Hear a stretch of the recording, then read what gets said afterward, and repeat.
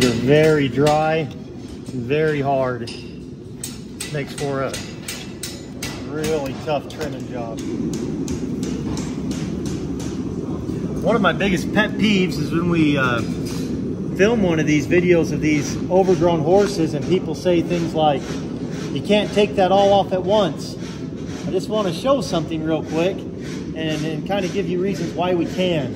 First off, all this curved growth right now is only giving this horse more leverage and more difficulty breaking over.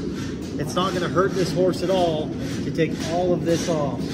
The other thing on the bottom of this hoof, this is all heel growth.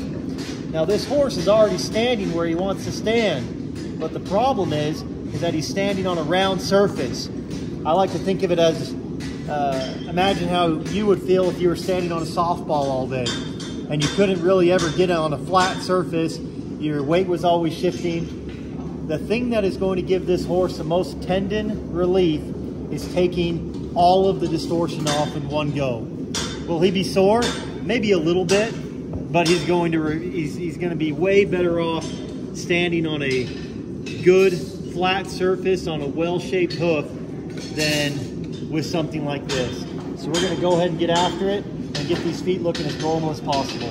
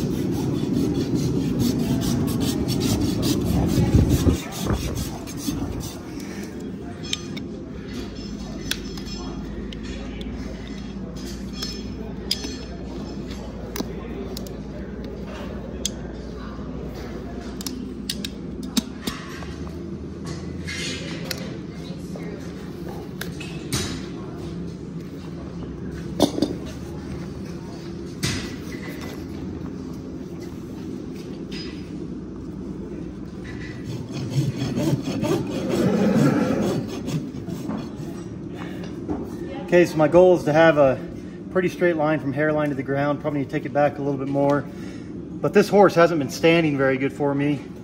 The reason is because he's very uncomfortable. But you'll notice now he's bearing weight on that nice foot over there. He's able to stand flat and he's standing pretty dang good. It's amazing if you just can get after these feet and get them anatomically correct, they'll stand better for you when you're trying to trim or shoe them.